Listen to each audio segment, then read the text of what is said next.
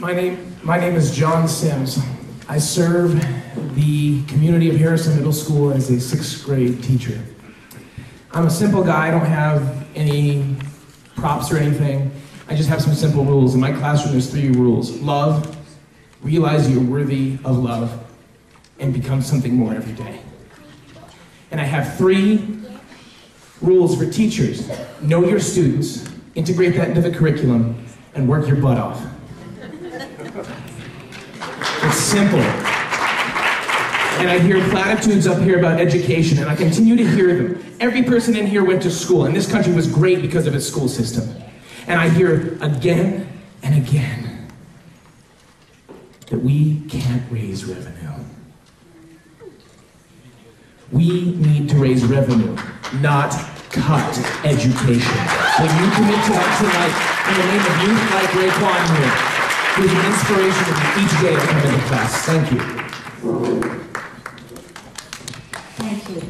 I think uh, that you're not going to hear tonight from this panel that we're not going to vote for raising revenues.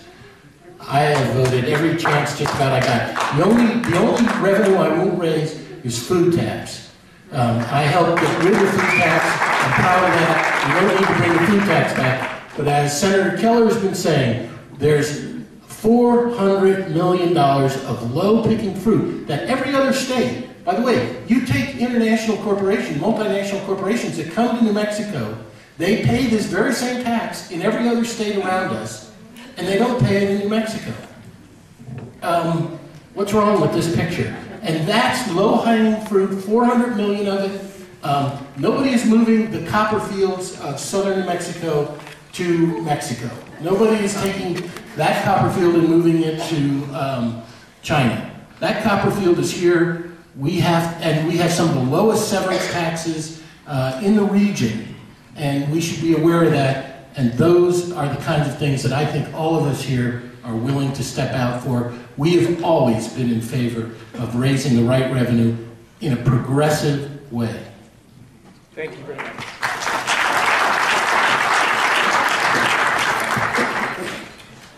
Thank you first for uh, your question and your comment.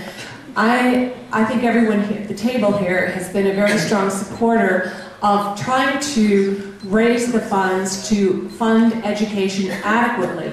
And we have had, we had an excellent three-year study uh, that resulted in, it was dramatic absolutely dramatic results that showed that we are not funding education properly in this state. And we have tried again and again to get it funded properly, and we have hit a roadblock.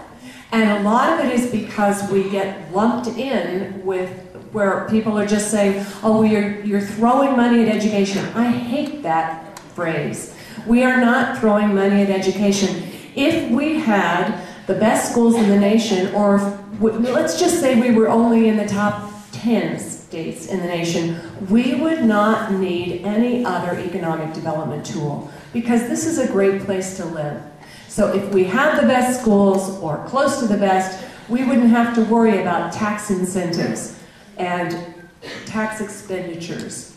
Senator Keller would be happy to hear that.